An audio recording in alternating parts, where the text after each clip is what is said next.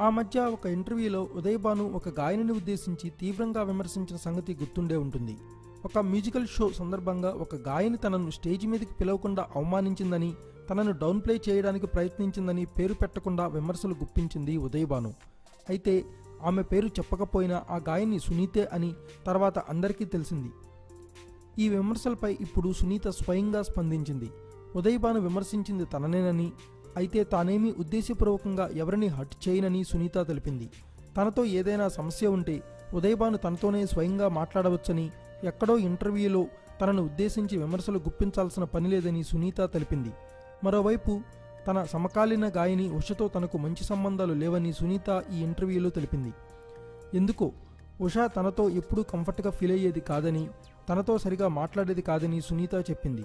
తాను చిన్నప్పటి నుంచి తనకంటూ కొన్ని హద్దులు గీసుకుని అందులో ఉంటానని తన కంఫర్ట్ జోన్లోకి ఎవరిని రానివ్వనని కాబట్టి చాలామంది తనను అపార్థం చేసుకుంటారని పొగరని అనుకుంటారని సునీత తెలిపింది. చిన్నతనం నుంచి ఒక ఇన్సెక్యూర్ ఫీలింగ్ వల్ల తక్కువ వయసులోనే పెళ్ళి చేసుకోవడం వల్ల ఎవరేమనుకుంటారో అని ఎవరితోనూ పెద్దగా మాట్లాడేదాన్ని కాదని రిజర్వ్డ్గా ఉండేదాన్నని అందువల్ల జనాలకు తప్పుడు అభిప్రాయం కలిగి ఉండొచ్చని సునీత ఓ ఇంటర్వ్యూలో తెలిపింది.